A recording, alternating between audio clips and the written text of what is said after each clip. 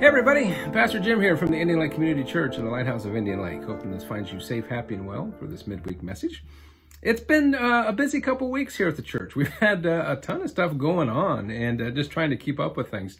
And uh, in times like that, uh, you get this mindset, or at least I do, that I'm just, you know, I am so busy. And and uh, when I get that way, you start to get a little stressed, and and you're thinking about all these things you have to do, and et cetera, et cetera. And uh, sometimes you have to let some things go because you just don't have time to do it all. Uh, and, and, the easiest things to let go are, you know, boy, I just don't, I don't have time to exercise. I'm busy. and so, you know, it's amazing how easy it is to say exercise. You know, chuck that out the window. I'm busy. Uh, but unfortunately, uh, one of the things that I let go sometimes when I get so overwhelmed and busy is is I don't set time aside to read my Bible. I admit that's that's something that happens from time to time. And it's a terrible thing to do because when we're busy and when we're stressed is when we need it the most. And, and it's the same way with exercise. When you're busy and stressed and you, and you got all this going on, you know, the exercise does you good.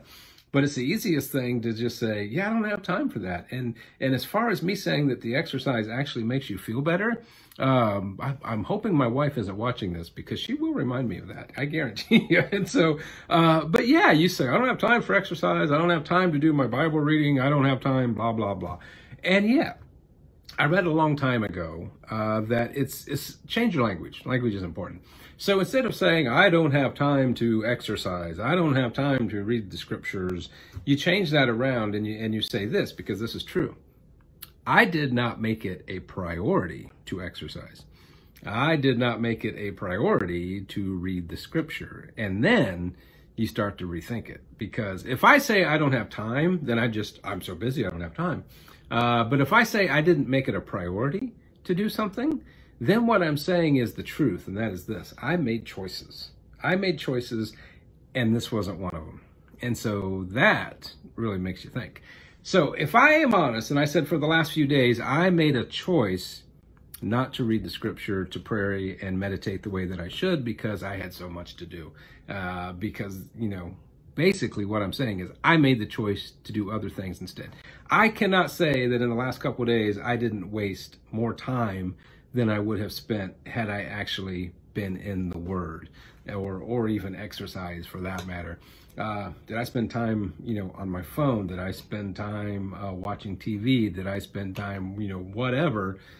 Yes. And so what I'm saying is I made it a priority to do those things over reading the Word of God. And that just kind of, oh man, you shouldn't do that.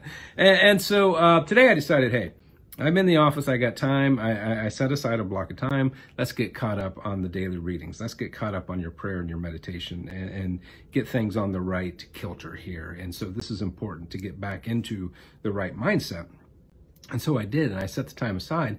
And then I went through and I and I read uh, the three days of Scripture, uh, the Psalms and, and the Old Testament and the New New Testament, the epistles, the letters, the writings, and then I did the Gospel. And um, it was powerful because there was one passage in particular. There were several that really spoke to me today, but there was one in particular that I I prayed over and spent time on and thought about and did all these things. And then um, you know I just felt really good. And and then when that time was done and I decided, okay, it's time to get on with my day because now I have the right mindset to prioritize and think and plan and do these things uh, according to God's will. And so I got my calendar out, which is the same calendar which has all my lectionary readings. And as I'm looking at the calendar, that was when I realized I read the wrong three days. And so I read three days in the future somehow, I don't know, which basically, you know what that means? Yeah, I'm still three days behind and I've got, I now have to catch up those three days because that's how my week has been. And so, but I'm not, I, I don't feel bad about it because uh, here's why. I'm going to go back and spend more time in the Word, which, you know, can't go wrong there.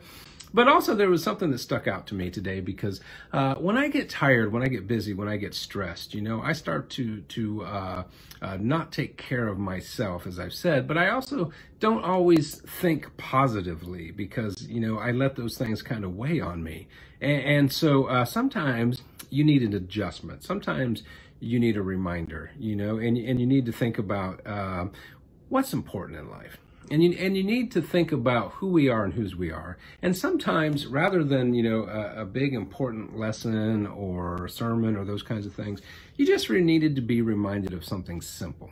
And there is nothing more simple or basic about the Christian faith that I can tell you than this God loves you. There you go. There is nothing more you need to know on this day than that piece of information and then think about it and dwell on it. God loves you. Because the, one of the scriptures I read from the book of Romans in the fifth chapter, beginning in verse 6, you see, at just the right time, when we were still powerless, Christ died for the ungodly. Very rarely will anyone die for a righteous person, though for a good person, someone might possibly dare to die. But God demonstrates his own love for us in this.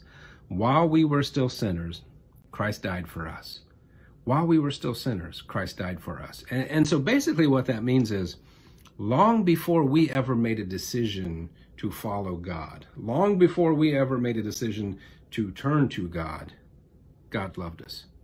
And so if God loved us before we ever turned to him, then in this time where we have turned to him and where we have given ourselves to him, and yet times when we fall short, and yet times when we start to feel bad about ourselves, or in those times where we don't feel that we are worthy to be loved by God, you do a reset and you come back to this and you say, wait a minute, God loved us. He sent his son to die for us while we were still sinners. So whatever state we're in, God still loves us.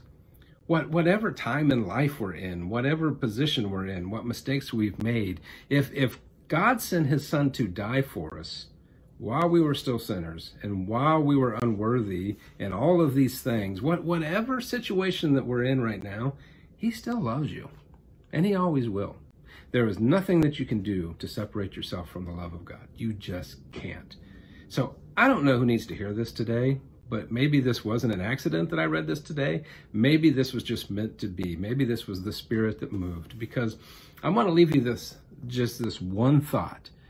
It's not a big, uh, important theological lesson. This is nothing that I put together that's just this, you know, this great lesson or teaching or all these kinds of things. It is just a simple reminder, no matter who you are, no matter where you are, no matter what you got going on, no matter where you've been or what you've done, God loves you. He always has, He always will. Start from there, work on that. All right? Anyways, it's great talking to you. Hope to see you all soon. Take care. God bless. I really do appreciate you taking the time to watch and listen to this video, and I hope you found some words of encouragement or hope to help you in your walk this week.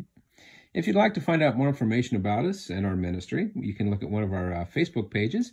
We have one for the Lighthouse at Indian Lake. There's also a Facebook page for the Indian Lake Community Church. If you'd like more detailed information, for example, our location and our times of worship, if you'd like to join us for worship in person, we would love to have you. Or if you want information about how you can join us for worship online, you can visit our websites at www.lighthouseatindianlake.org or www.indianlakecommunitychurch.org. There you'll find information about our in-person worship times or how you can watch us online through the website or through Facebook or through YouTube. Also on there, you'll find out uh, more about who we are and our mission to the Indian Lake community and beyond. And if you'd like to support us through your time and your talent or the giving of your possessions financially, you'll find information how to do so on those sites also. Thanks for listening in. God bless you, and we hope to see you soon.